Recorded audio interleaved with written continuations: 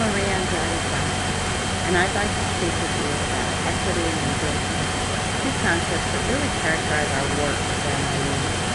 I first became convinced of technology's efficacy as an early adopter, and that conviction has only grown through experience and through my research. As I watched students become really co-constructors of their own knowledge and to be able to critically engage with the world around them, developing voice and agency empowered by tech.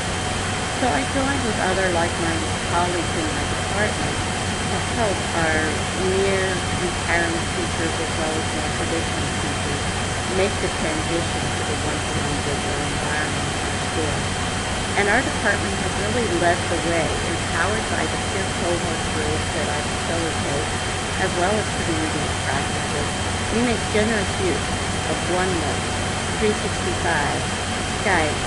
other tech tools, and now Sway to meet our learning objectives of performance-based assessment and problem-based learning, and to engage our students by personalizing learning to their needs and their. And although I don't have my superhero cape, the results speak in superhero terms. As measured, we've had a 36 to 56% shift in student critical engagement and thinking, as well as a 50 to 90% increase in teacher perception of their efficacy and in their levels of use according to Sanders scale.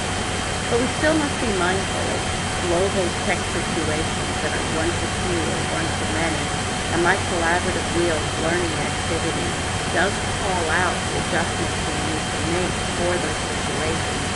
this activity has been implemented in the department and will be presented at the NCEA National Conference as well as Learning Forward both this year and has been disseminated through Twitter and the Facebook page. So although I don't have my superhero cape, I'm looking forward to donning it and bringing education to the shackles of the factory model by joining with other educators at the E2 conference